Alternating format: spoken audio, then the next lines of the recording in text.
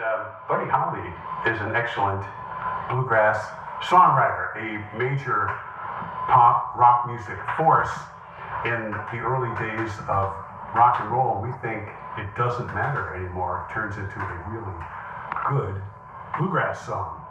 One, two, three, four.